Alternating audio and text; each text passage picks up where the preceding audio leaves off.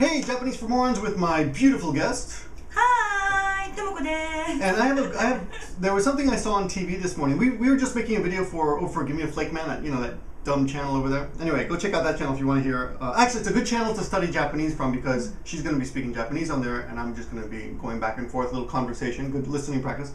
But I got a question. This is something I've never seen before. On the TV this morning, they had the, kan, the words in the kanji, ware, kan, Sezu. But they had Kan in quotation marks because it's Prime Minister Kan's kanji, right? Mm. His name. Mm. So the, the, the, what, well, first of all, what does it mean, just the word, ware kan sezu? 我関せずは私は関係ないよ私は関係ないよ So that has nothing to do with me そうあの物事が起こった時にもう知らんふりしてる well, how, how do you use it? 我関せず我がだって主語だもん我が主語で関せずはえっと述語 But what it comes as is an expression. So.